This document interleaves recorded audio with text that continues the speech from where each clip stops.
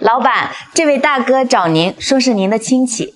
表妹，好久不见。表哥，你怎么来了？快，里面坐。哎，表妹，最近挺忙的吧？我给你带了点自家下的土鸡蛋，你尝尝。来就来呗，还拿什么东西呀？对了，舅舅舅妈身体挺好的吧？啊，我爸妈身体挺好的。那你这次过来找我有什么事儿吗？我，喂，张总。啊，对，公司状况还可以吧？嗯，好，那先这样。对了，表哥，你今年蔬菜大棚弄得怎么样啊？今年呀，情况特殊，好多菜运不出去，都烂在地里了。我这次来是想……喂，什么？我都跟你说过多少次了，最后一项，连个合同都搞不明白。表妹，我看你也挺忙的，要不我先回去吧。行，表哥，你要忙的话，你先回去吧。小志，我桌上有盒茶叶，给我表哥拿回去喝。好的，老板。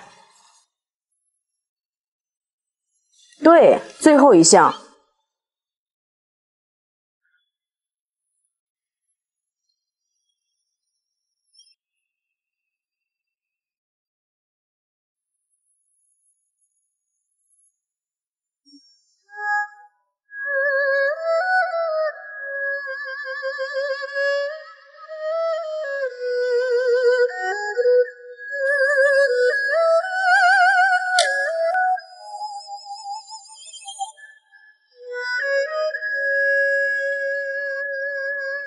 老板，您为什么不把钱直接借给他呢？现在呀是物质社会，很多亲戚关系都变淡了，甚至为了利益，很多亲戚关系都变成了仇人。但是亲戚有难，又在我的能力范围之内，能帮一把就帮一把吧。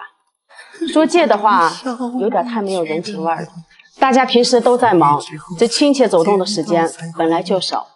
只有遇到困难的时候，才能真正的体会到打不断的还是亲情。感谢所有爱我的人，感谢所有宠我的人，一路上。